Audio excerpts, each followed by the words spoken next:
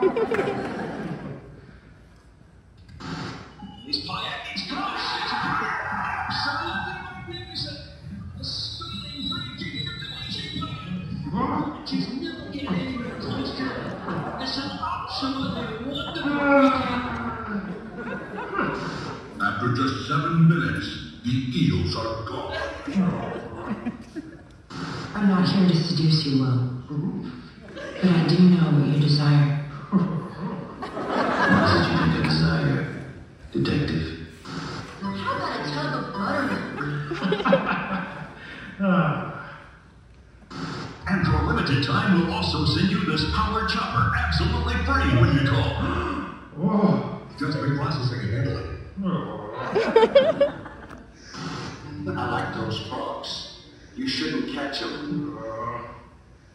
And you see what your neck looks like to other people when they're looking at you in the bright sunshine? Uh. Terrifying, horrible, horrible moment. It's horrible. It's like a horror movie. Yeah. Well, we gotta do something to draw attention away from that chin. A giant creature. Was it an unknown species? Or a monster from the deep?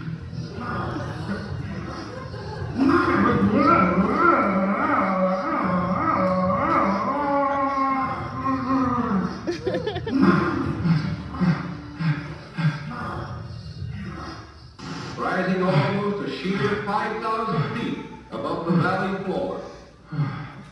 As we gaze upon this scenic magnificence, mm-hmm. we have a better understanding of what the American poet Whittier meant when he said, Today, my bald spot is gone. and I feel 100% more.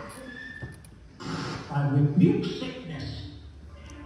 I rebuke every affliction that is tormenting our sister. And Lord, I thank you.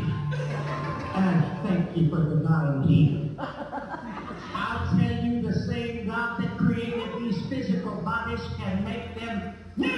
New. Hallelujah. Glory